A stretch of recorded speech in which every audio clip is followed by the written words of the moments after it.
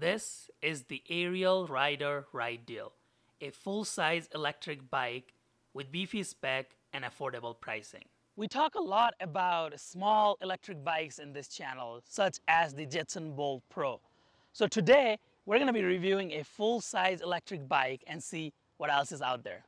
If this is your first time tuning into my channel, my name is Shiva Sapkota. I'm an engineer out here in Colorado, USA. I make videos on electric vehicles such as Tesla, electric bikes, and electric scooters. If you like what you see today, please consider subscribing to my channel. If you would like to check this bike out after my review today, I will have an affiliate link in the description of this video. At no additional cost to you, if you go through the affiliate link in the description, it will greatly help me make videos like this in the future. Let's do a quick unboxing and we'll get on with the review. This requires a typical assembly of a full-size bike. The bike comes with lots of foam to prevent damage during shipping and they don't send a pair of scissors. So have a comfortable pair of scissors as it takes a little while to remove all the protective foam that is secured with tape and zip ties. They send you a nice box that has a toolkit bag. Inside you will find all the tools you need to put this bike together, as well as for future use. These are the pedals. They send you extra screws, the front headlight, and a paint correction kit.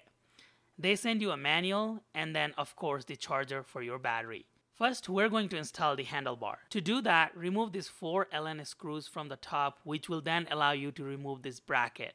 Now align the handlebar and make sure it is going to be in a comfortable position.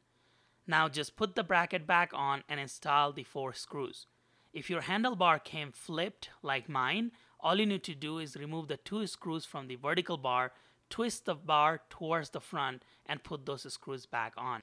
To install the front tire, you will need to first remove the forks from the shipping protection platform using the provided tools.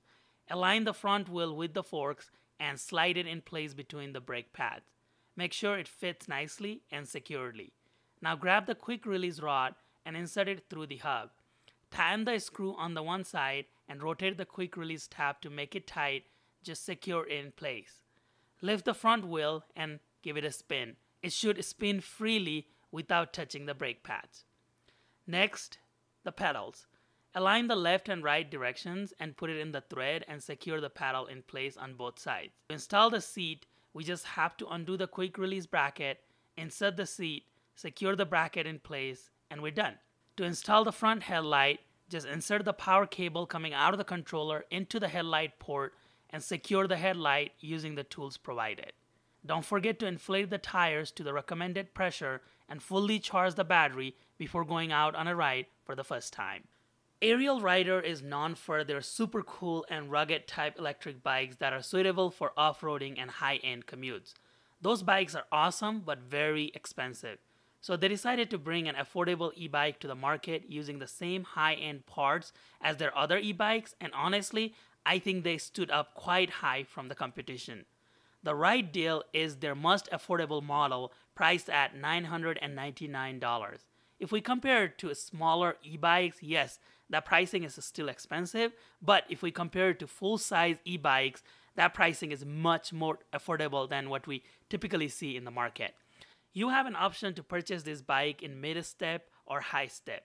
If you are a rider between 5 foot 10 inches to 6 foot 5 inches, a high step version would be more suitable for you. However, if you are between 5 foot 2 inch and 6 foot 2 inch, then you should consider the mid step frame. The one we are reviewing today is a high step blue. Speaking of which, you have an option to purchase this in red, blue, or black color. The Rideal is made from 6061 aluminum frame that balances rigidity and weight. The total length of this bike is 72 inches and the floor to handlebar height is 43 inches for both mid and high step variation. The handlebar is 27 inches long and this bike weighs 52 pounds. The payload limit for this bike is 285 pounds. It has CST 27.5 by 1.95 anti-puncture tires with reflective walls.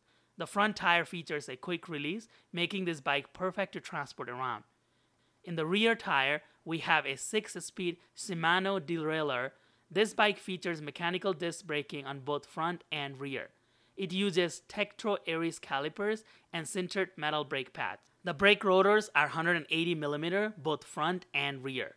It features a 48T chainring with a 170 mm crank length and dual-sided chainring guard to protect your clothes. In the rear, it has a 750 watt geared hub motor that features 5 pedal assist modes.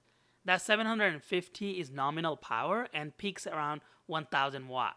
Powering that hungry motor is a 48 volt 14 amp hour lithium ion battery that has a physical key to remove the battery.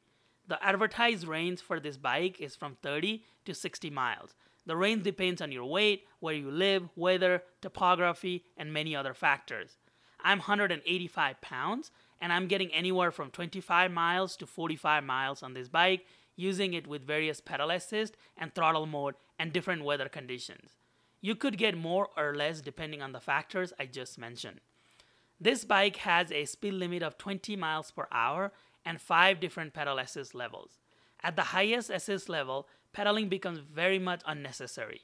You can use the throttle to always go to the max speed at any time regardless of the pedal assist level that you are in. The controller is mounted outside instead of being hidden inside a frame like a typical e-bikes. More on this topic later in the video where I provide you my likes and dislikes. The bike features a front headlight and a rear tail light. The seat post is 350mm by 28.6mm.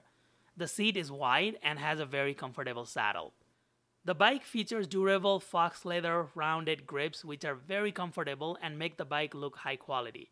On the right side of the handlebar, we have a throttle switch that must be pressed in before the twist throttle can be activated. Speaking of which, this has an awesome half twist throttle handlebar on the right side. This allows you to get a good grip on the handlebar and use the throttle on demand. The right side also has gear selector that can be pressed to increase the gear levels and twist the lever to decrease the gears. Moving towards the left side, we have a very low profile mechanical bell that is embedded within the brake assembly. Then there is the main control unit. To power this bike, you just have to press once on the power button. The top battery indicator shows the current battery level. There are five pedal assist modes that you can use and those are controlled by pressing the positive and negative buttons. One thing to point out is that you can do zero pedal assist level, which means turn the pedal assist off and still be able to keep the bike powered on to use the headlights. The headlight button controls both front and rear lights at the same time.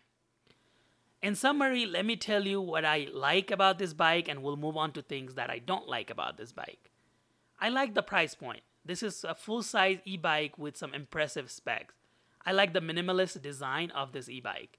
Everything is very well designed and built. I also really like the swappable battery with the physical lock security. I live in an area with cold winter months and I like to store my e-bikes inside in the room temperature to prevent the battery from freezing which is not a good thing for lithium ion batteries. So for this bike, now I plan on taking the battery inside and charging it periodically during cold winter months and also very hot months and generally just taking the battery inside to charge rather than taking the whole bike inside. I can now leave my bike in my garage. I also like that this bike has geared hub motor instead of just being a single speed. In addition, it is great to have different levels of pedal assist. The outside mounted controller is also a big plus for me. I have talked about e-bike controllers a lot in this channel and having this controller outside and not hidden inside the frame definitely helps with troubleshooting and future upgrades. Finally, the quick release for the front tire is life changing, not just to fix flat tires, but also to easily transport the bike wherever I want. There is not a lot of room for improvement at this price point, but I wish the bike came with front and rear fenders. You can purchase them for $59 each in their website. Since this is supposed to be a strictly commuter bike on paved surfaces, the bike doesn't come with any suspensions. The large tires sort of make it feel like it has suspension. However, I do wish it came at least with a suspension seat post, but those are fairly inexpensive to add. Overall, I am very satisfied with this bike and I would highly recommend this bike to anyone looking for a full-size electric bike with impressive performance and high range. I hope you enjoyed today's review. If you did enjoy the review, please don't forget to hit that like button, subscribe to the channel, turn the notification so you can see me review electric bikes like this in the future. I really appreciate you sticking around for the entire video.